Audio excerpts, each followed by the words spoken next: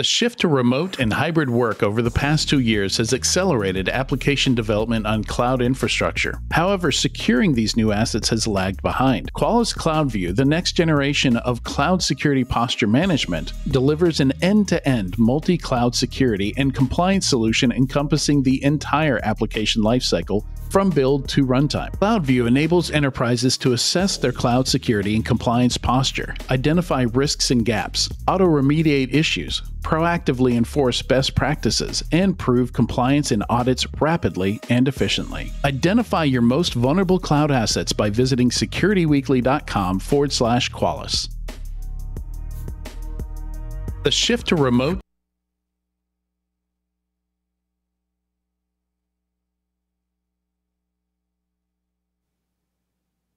Welcome back to Enterprise Security Weekly. Don't miss any of your favorite Security Weekly content. Visit securityweekly.com forward slash subscribe to subscribe to any of our podcast feeds and have all new episodes downloaded right to your phone. You can also join our mailing list, Discord server, and follow us on social media and our streaming platforms, which include YouTube and Twitch. And we're playing around with some some others. I, I, don't, I don't know how that's going. We were uh, testing out Twitter and LinkedIn and I don't know, Instagram. Like you, you can stream in a bunch of different places now. All right. So for our second interview today, Jerry Bell joins us to talk about InfoSec community culture and the migration to Mastodon, which has been uh, um, big, somewhat contentious news over the last couple of months. Uh, Jerry has worked in IT for 30 years, doing everything from writing code to racking servers, and is currently the VP and CISO of IBM Public Cloud. Jerry has hosted the Defensive Security podcast, which I, I listened to a lot back in the past. That was one of uh, my regular podcasts on my on my podcast list every week, and uh, and he best known currently in the last couple of months for running the infosec.exchange mastodon instance for the past six years which recently saw a slight bump in popularity. Welcome to the show jerry. Thank you. Thank you for having me yeah, thank you for for being here. You know, this is something. Uh, you know, I think when we talked to prep for this, you know, I mentioned back in 2015. You know, I was uh, I've been on Twitter for a little while. Twitter is kind of how I got into infosec.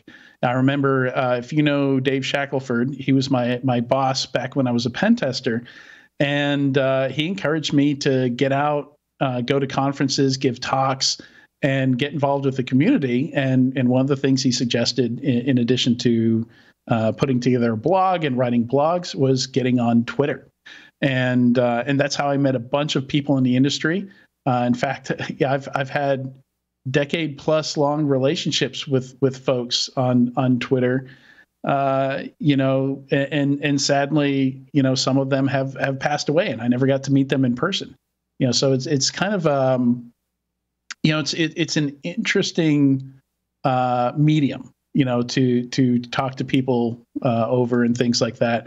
And I, I, found it kind of fascinating how easy it was to to make that migration and how how quickly folks jumped over. So, you know, just kind of want to get your so you've been running this a lot longer than this big you know, when this big wave happened. Uh, it was that correct? Six years you've been running this Mastodon instance? It'll be six years in um, in April. That's right. So you know, I gosh, probably six and a half, seven years ago, Mastodon and the Fediverse came onto my radar, and I'm someone who likes to tinker with things, and so I set up an instance, registered a domain, and you know, for uh, for five and a half years, it was pretty much just a little uh, a little side experiment that had a couple hundred people in total you know m- maybe a handful of people on any given day until um until october. Yeah. And I, I think you picked a great name. You know it's it's uh you know with real estate it's location location location. And uh i think infosec that exchange is is a really easy one to remember. Uh so i think i think you nailed it there but um, yeah, I mean, I, I, mean, what was it? Um, what was it like those those first couple of weeks? Like, like did you have to upgrade the hardware almost immediately, or oh. how did how did all that go? it was it was pretty exciting. Um, so back in in the spring of 2022, gosh, an entire year ago, uh, when when there was some first first some rumblings about um, Twitter potentially being taken over, there, there was a bit of a pop in in um, in uh, accounts on infosec.exchange, and up until that point, I had been running this the, the instance on a VPS, and uh, it had worked pretty well. I spent a couple hundred bucks a year for the for the five years uh, up until that point, and so that that was a bit of a, a wake up call. And I actually um, rented a pretty substantial server that I never thought I would actually grow out of. Uh, was a 16 core server with um, NVMe drives, and it was a it was pretty pretty uh, beefy server for for what you know effectively had 10 or 20 people on it per day. Uh, round about October 27th, 26th, 27th, 28th, going into that weekend, I was actually working uh, down at, at, at, the beach and um, my phone started going nuts. I have my alerts set on, on Twitter and uh, didn't think a whole lot of it. I knew that there was stuff going on until I looked at it and I saw uh, lots and lots of people talking about uh, joining infosec.exchange talking about it and whatnot. And so I, I jumped over there and sure enough, you know, several hundred people had come in and I thought, Hey, that's, that's pretty cool. And over the, the next three or four days, there were um, probably five, six, seven hundred people per day uh, coming over, and then then it really, which which was pretty interesting, and then it started to really accelerate to you know thousand, two thousand, three thousand people per day. And per um, day. Um, wow. Per day. And at that point I started to panic a little bit because um, not not only did moderation become um, a much bigger challenge, but also it was pretty apparent that my once uh, forever server was not going to cut it anymore. And so uh, I, I ended up standing up a moderation team who to this day is just an absolute godsend phenomenal group of people uh, with the, the patience of saints and uh, and then I, I spent a bunch of time uh, scaling out the instance uh, both uh, from the from the perspective of um, you know capacity but also trying to get the costs under control because I had been uh, paying for it out of my own pocket until I got the bright idea to to really uh, go ask for for some financial help, and so that the community did come together and, and help me out with that. Yeah, you know, it, it's um, yeah, and I think that's interesting that not only did you have to technically scale um, the the instance you were running, you know, but also staff it as well you know? And it's uh so so what's that what's that like? Like like the the um you know do, doing that uh, moderation work um is that like when people flag things on the server like they have special roles where they get like a queue of stuff that needs to be looked at and handled? How, how, what, what what is that role like? It's um it's not unlike on twitter if you're familiar with twitter and somebody says something offensive or or um, you know post some post a threat or or what have you we have the same kind of reporting uh, facility in mastodon or or the fediverse uh, so so you can you can report somebody who's a spammer or or posting something obscene or illegal or or what have you mm-hmm. and so it's um, it's a it's a myriad of different things um, you know it ranges from you know misinformation about vaccines all the way to um, death threats and um, you know and and uh, you know spam and and uh, you know, herbal remedies and everything in between. Yeah, that's actually one of the things that. So, so I still pop over to Twitter um, because there, there's some people that uh, I communicate with that, that haven't made the switch. You know, so it's, but it, you know, I find that interesting because that's one of the things that definitely drove me to to use infosec.exchange a lot more is uh, you know around the same time that this move started happening I, I, just started, you know, that that first huge round of round of layoffs uh, that they did at, at Twitter. I just started getting crypto spam, like mentions spam. Like my mentions would just fill up with, you know, buy this, buy that, you know, new coin or or join a game or a crypto game or or whatever, you know, a dozen or more a day every day, and it's still continuing. And like, you know, for a couple of weeks, I was reporting every single one, and I just gave up. You know, like like I just uh, I I don't need a side job. You know, just reporting mentions and stuff like that. So I don't know if that's just a scale thing for them, but yeah, I never had that problem before. But uh, yeah, I, I wonder how many people moved over to Mastodon.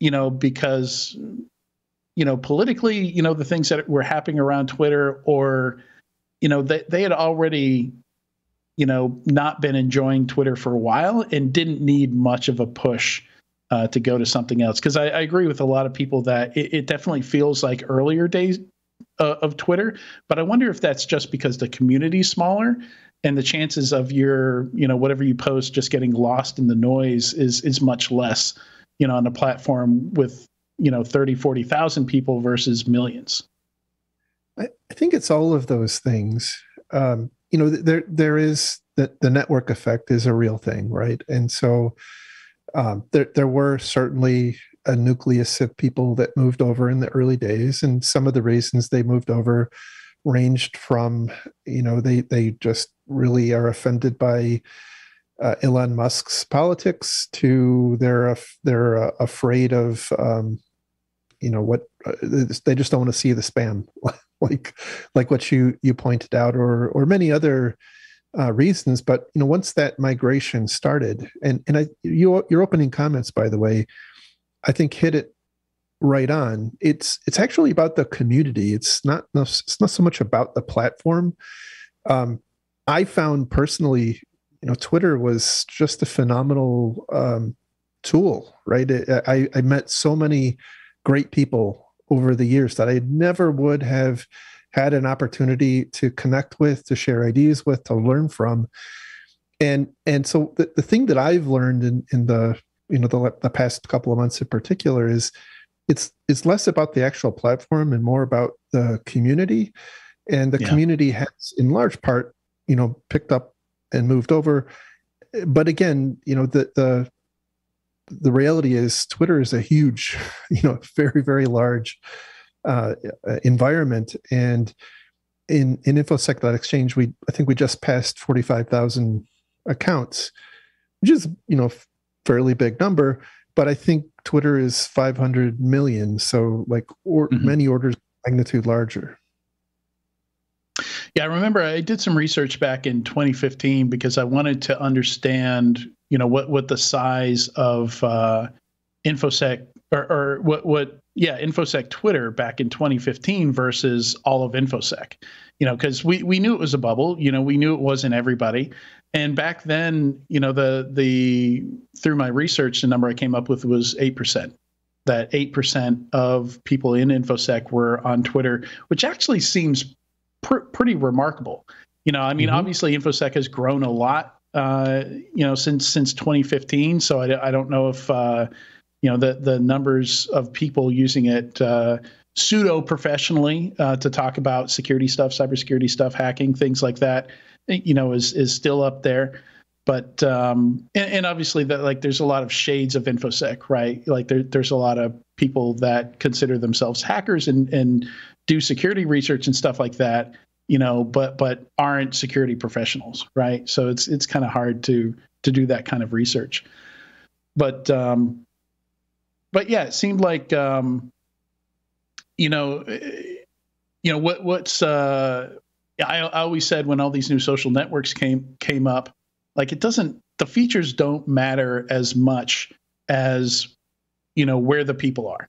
You know as soon mm-hmm. as the people move as soon as you have that uh, that tipping point you know that that momentum where the the people you enjoy bouncing questions off of and and discussing things with uh, ha- have moved over. You know if that if that's where they're spending their time if that's where they're posting and you enjoy reading their stuff and conversing with them like that's it. Like it doesn't matter if mastodon's better than twitter or you know twitter gets better. Like it's where the people are. Absolutely. There, there are some, I, I, will tell you, there are some features that I commonly hear, um, you know, as, as being problematic, like the fact that we don't have the equivalent of a quote tweet. And quote tweets, yeah. I think that is something that will likely get fixed. Um, search is something that is, uh, you know, fairly um, inhibited. And, and by the way, you know, one, one of the, uh, I've, I've written about this or posted about this quite a bit over the, the course of the past couple of months. You know, Mastodon isn't Twitter. It's it's it it it, it in some ways feels a lot like Twitter. It has similar purposes, but has a mm-hmm. different lineage. The, the the driving factors behind it, you know, getting to where it is today, are different. It's a different community that built it up. The the values that the people had who have created it are are different than what you saw with um, you know with Twitter. It's Twitter was a a commercial enterprise that that that valued engagement and and uh, you know growth and time on the site and and whatnot, and that that drove certain you know features and capabilities. And for me personally, I think it was kind of bad for my blood pressure because it seemed like Twitter was always putting stuff in front of me that I it knew I would disagree with and and would yeah. you know it, it became the media, the mainstream media, basically, right? If it bleeds, it leads. and on you know on the other side, uh, with with Mastodon and and the Fediverse in general, is it was is more intended to be a, a community, and it it doesn't have the concept of uh, investors and advertisers and whatnot. It, it's it's about the people, and so some of the features we had come to to rely on on Twitter, you know, were were are were and to some extent still are viewed as you know potentially enabling bad behavior like um, you know abusive behavior targeting and and mm-hmm. things like that and and to some extent i think that is um, you know a, a, valid concern to another to another extent i you know i think um, i think it is inhibiting valuable use of of the tool and but that comes down to moderation right? Like the fact that um that you have quote tweets doesn't you know that that just means that that as a moderator like we have we have more responsibility to make sure that people are are not acting irresponsibly i guess is how i'm viewing that yeah i i remember reading that quote tweets weren't there by design, you know, because they they were. And I think that's when I realized I used Twitter very differently from how some other people were using it, and, it, I had to do some reading and some looking around to see like like like what does bad use of quote tweets look like? Because today uh, I did a quote tweet on Twitter because we sent out uh, we were promoting today's show we were promoting um, you know some of the interviews and, and the stuff on today's show from the security weekly account. And you know a common way that i'll use a quote tweet is i'll, I'll hit quote tweet on that and i'll you know say why i'm looking forward to this interview and and i'll send that on to to my followers. So i'm, I'm just you know taking this promotion and and adding some commentary on it. Um, you know so so it took me a bit to understand like like what what is what is misuse of quote tweets look like and, and the other thing that kind of horrified me was, was the idea of, you, you know, like somebody was really excited they found a tool that would delete their their their tweets, uh, any tweets that are older than a week. You know, which the way I use Twitter, like that was horrifying to me. Like I I treasure these conversations that I had, you know, eight, nine, ten years ago. You know, and sometimes I go back and I use those in talks, and you know, because people there's some great quotes on Twitter. You know, it, there's there's some great conversations that happened, and I, I, find it really useful to go back and, and, and look at what we were talking about back then. Uh, you know, and and how that informed what we're doing today. You know, as as commentary on on. Uh, you know, yeah, it looks like looks like some of these predictions were right. You know, so it's it's I, I, look at it and use it, I think, a lot different than than maybe some other people do. Is is a conclusion I came to. Yeah. Um, I, for me, for me personally, I've been a little disappointed, uh, not surprised, I guess, but disappointed and frustrated because I, I, I had the same thing. Like I've had so many productive and enlightening discussions on Twitter. Uh, what the most recent example was related to GDPR. When, when the GDPR was was coming online, I had a bunch of discussions online with with attorneys and and uh, you know actually regulators and, and other mm-hmm. other people on Twitter, and those are all gone. so like I yeah. can see things that I posted, but the but the other side of those are are gone to and, yeah. and it's, it's um, that's unfortunate. Uh, but at the same time, on mass, you know, you, you, in Twitter, you actually had to go and find a third party thing to do that. On Mastodon, that's actually like a native capability that that a platform offers. What what, what is that? That's a native ability. ability to to purge uh, posts after a certain period of time. Ah, yeah, yeah, disappearing messages, basically, right? Mm-hmm. Yeah, same concept as that. Exactly. Yeah, and uh, so another thing that's interesting, I, I, think, is Twitter had absolutely turned into you know a platform that uh, you know marketing folks use, that companies use. Uh, you know, there's there's a lot of uh, marketing automation platforms, you know, where you can schedule tweets and you can have a whole marketing digital marketing team managing uh, messaging that they're sending out you know, a tool that'll, you know, you put together your message and it's going to send it to LinkedIn, Instagram, Twitter, a bunch all at once. And I've noticed a lot of those tools don't support Mastodon, but I, I have started seeing some of those companies coming over to to Mastodon. So we're seeing some of those those use cases, you know, some of those non-human accounts, accounts that represent either organizations, whether they're nonprofits or, or their projects or their um, you know, bots, you know, the ones that spit out funny stuff. Uh, you know, I think there's a whole Mastodon server I saw that's that's nothing but bots. Um, bot. You know, what is it? It's called Bots in Space. Bots in Space. that's great. So it's it's um I don't know what what is the I, I guess where I'm driving is, is what what does the future look like? You know, does um you know the Fediverse uh, and one of the nice features I think is you don't have to look at the Fediverse. You know, you, you can look at only your your local stuff, which I, I, think will somewhat insulate from some of the negative, some of the downsides of of just scale and growth. You know, and the mm-hmm. noise that can that can result from that. But um, you know, wh- wh- where do you stand on like companies creating accounts? You know, accounts, you know, being uh, automated or non-human accounts in general. You know, and and uh, whether those should be allowed or should there be limits on them. Yeah, I, I haven't looked at the rules in a while. I don't know if you have rules specific uh, for your instance just for non-human accounts or shared accounts. This you're starting to get into the um, like the philosophy of of uh, the Fediverse and some of the nuances that that and challenges I think that lie ahead for us are when when different instances have materially different values so if instance A allows um, corporate type accounts and instance B uh, you know finds those to be terribly offensive, then the, they're probably going to end up blocking each other, uh, and and so it goes.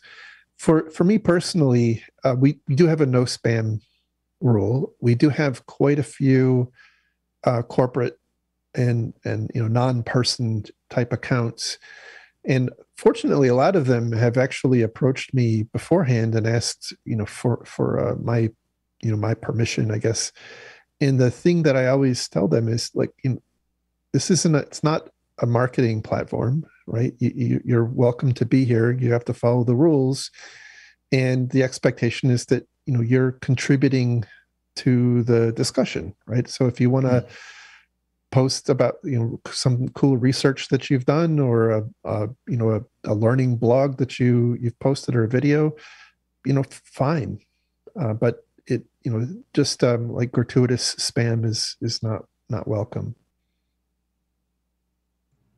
So follow-up question on that um, thanks for being on here is one of the more amusing parts of twitter for me are definitely the brand accounts especially the the humorous ones like wendy's. Uh, I, I understand your approach and take on that as contributing to the conversation. But how do you personally feel about these sort of brand accounts potentially being on Mastodon, and and how do you think Mastodon and different instances might stand on these brand accounts? That's a good. It's a really good question. I I don't I don't know how the Fediverse would react to Wendy's to be the spicy takes. I, um, part of me thinks that it actually might go uh, relatively well. Um, I, I, you know, I, again because because it's novel, right? You know, we we see uh, we see there are some novel uh, commercial accounts like the the the um, uh, I'm drawing a blank on the weather app. Well, there's a weather app that has uh, you know post offensive messages oh, yeah. to you and weather, right? Well, they have an account, and and so so you know I, I think it it it depends, right? I don't know that it's a it's a black and white uh, thing to be to be candid. Um, I, I I think as long as from from my standpoint, as long as it's not obnoxious uh, and and you know gratuitous and and and you know like if people don't want to see that, it's pretty easy to block, right? You can block an account really easily. You can actually block an entire incident or sorry instance, um, also quite easily too. So um, you know, I, again, if if uh, you know, I, I, I if Wendy's joined infosec infosec exchange, I'm not sure what I would do. I maybe encourage them to go to a different instance. I I, I don't know. Yeah, that's fair. Well, I recently joined InfoSec Exchange thanks to a relatively famous non-horse and am gradually dipping my toes into Mastodon. Uh, what do you suggest for those who are just starting with a new Mastodon account, especially those that are switching over from Twitter?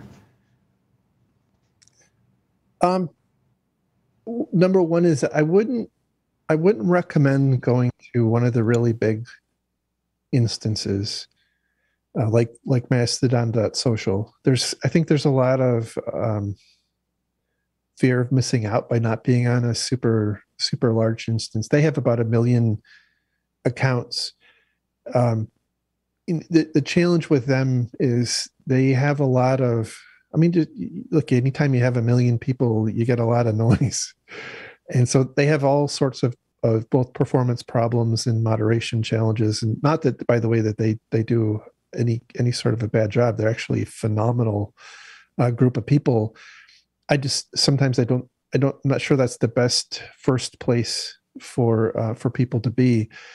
I I would say you know find find an instance that aligns with your uh, your in, interests. Right there's interests like just like infosec.exchange is somewhat infosec focused although like we don't have a rule that says you only can talk about infosec stuff like i post plenty of cat and dog pictures and talk about politics and and you know personal stuff probably 10 times more than i do about security stuff.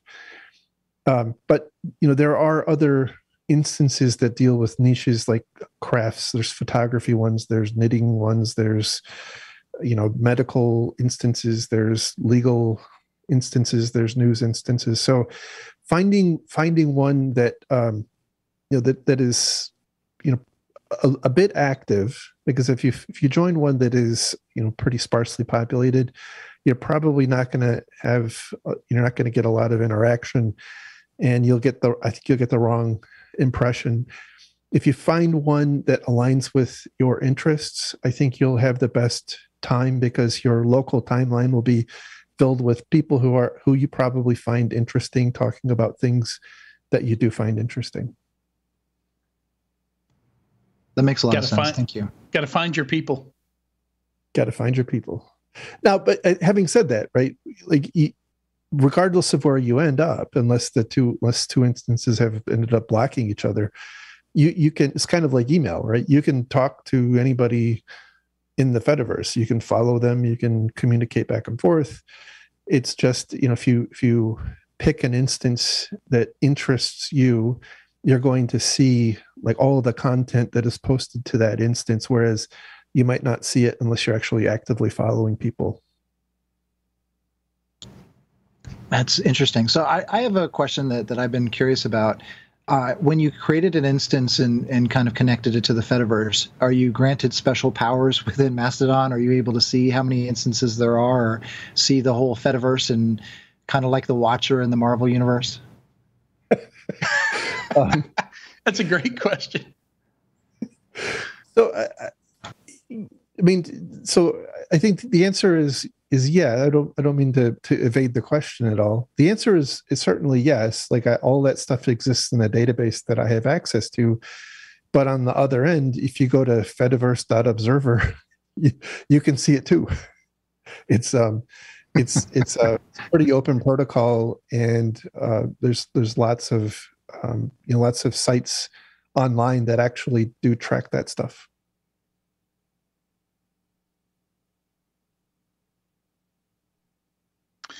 Yeah. So, um, yeah, I don't, I don't know if Katie, if if you or Tyler uh, have any questions, but um, but yeah, for me, I, am still, I'm still dancing between the two. Um, I, I go check uh, Twitter every now and then, but it, it's mostly just checking it, you know, because you know some people I've been communicating with over DMs there for years.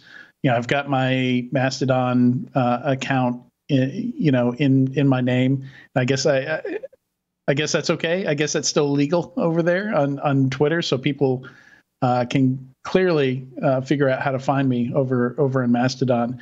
Uh, but certainly the conversations I'm having are are almost 100% on on Mastodon these days. So it's um, eh, for me, you know, I mentioned I use it a little bit differently.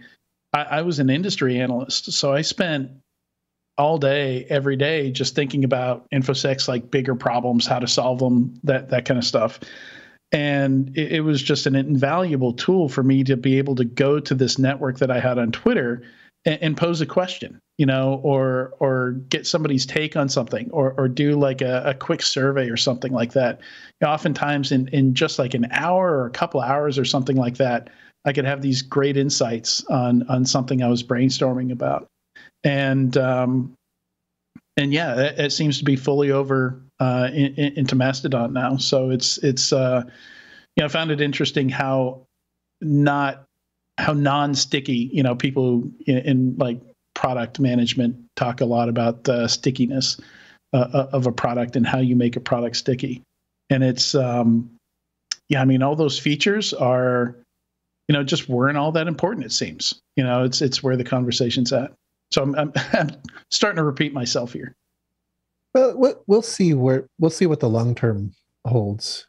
Um, you know, I, I obviously we don't know where Twitter will go. I mean, they could turn the corner and release some new super uber feature and everybody you know runs runs back to them. Or you know they they could uh, turn their corporate headquarters into a spirit halloween. Like we we don't know where where their trajectory is.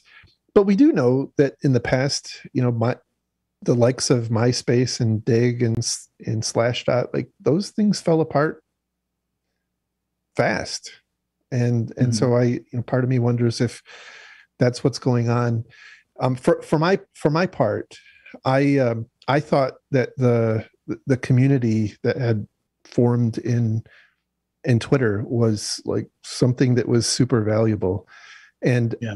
i feared losing that and not from a personal standpoint but from like a the good of the world standpoint and uh, you know i had this this place and i wanted to to at least offer offer it up as a soft landing spot. You know from from my my perspective there's a bunch of really great uh, security instances on the fediverse. I'm you know i have one um, of probably two or three dozen different security focused instances that that are out there.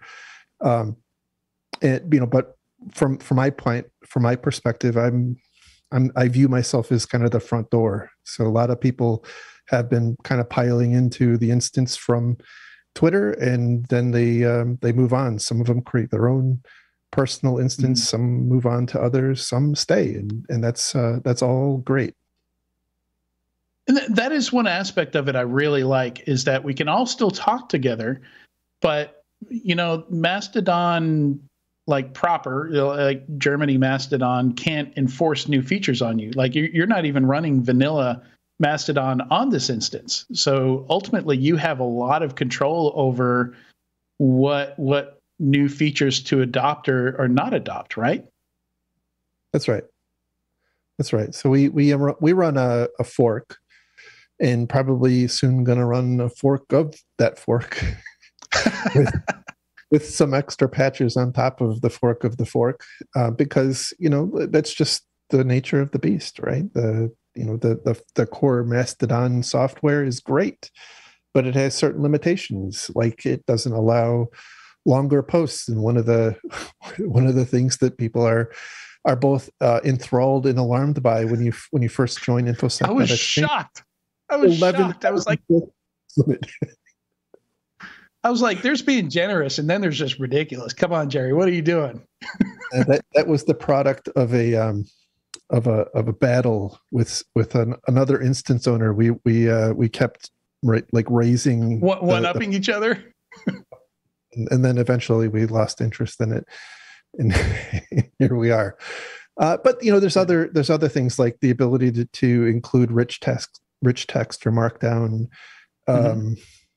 You know, there's there's uh, you know various other features that the fork gives. Um, you know, more I'm trying to improve the ability to search posts on on the instance and there's there's a there's now a fork of the fork that provides the quote t- quote tweet functionality and some uh, in the process that. So, um, but yeah, like is that, you don't. Is that going to be contentious and divisive? You think the adding in quote tweets? Probably, but I um, being contentious and divisive is not new to me now. I um, I don't relish controversy or or conflict, but holy moly, has it found me since I've been there? Yeah, I, I think. Uh, well, people used to say that on Twitter too. Like once you pass a certain number of followers, uh, like like things change all of a sudden. You start getting pushback on stuff. You start getting challenged a lot more, and uh, and like, like you mentioned, there there's a couple dozen infosec servers out there. People have gone and, and started their own. So it's it's. Uh, I, am glad you have that attitude towards it. You know, because I'd much rather you be um, you know divisive about you know what you're going to do with it than constantly on the fence and you know swaying back and forth and stuff like that um and and so far i'm i'm i'm pretty happy with it so i can't i can't complain good good that so I, i'm really curious about the the software forking and different instances running kind of their own almost unique versions of mastodon so if you implemented quote tweeting how would that be seen by the fediverse or would that be interpreted so the it's a good it's a great question. Uh, I'll, I'll give you a couple of examples. So like with um, with the rich text formatting that that the glitch fork uh, provides in uh, in in a non glitch instance, you'll just see the the formatting characters. Like so, for a bold, you'll see the two stars before and after, and and so it's you know it it isn't like totally scrambled. In the case of the uh, the, the, quote quote tweets, it quite literally is just a the, the um, you know you, you have your your message and then a link to the quoted tweet. And so if you're on a non an instance that doesn't support the quote tweets, it looks like just a message with a link to a post. Okay, that makes sense. Thanks. Mm-hmm. But right. I mean, you know, look, yeah. one of the challenges that that I, I think we have to be cognizant of is that we we have to not do the mic, you know, the, the historical, not the current Microsoft thing, but the historic Microsoft thing of, you know, embrace and extend in ways that nobody else supports. Right. Right. Yeah. Yeah. I wonder about the. Um, I guess Markdown doesn't look too terrible if you're on an instance that doesn't support Markdown. Um, but uh, honestly, that's been really my only frustration so far is finding a markdown guide. Like I, I every now and then I search for it and it's like, uh, oh, we support markdown as supported by so and so. And I go over and I look at that and I just can't find a guide anywhere because it seems to be different from the markdown that I use in Notion, which is different from the markdown that I use in like GitHub and GitLab. Like uh, there's so many flavors of markdown. I'm that's my only frustration so far is finding a guide. It's very limited. I'll I'll ping you one afterwards. Okay. Awesome. Well, this has been great. Um, thank you so much for taking the time to be on here and answer all our our, our stupid questions about the uh, the Fediverse, which is uh, so far vastly superior to the metaverse. Uh, I must say. But thank you, Jerry. Uh, yes, absolutely. Thank you for having me. And you spent much less than Facebook on it too. Quite a bit less, yes. All right. We'll be right back in a few moments with the weekly enterprise news.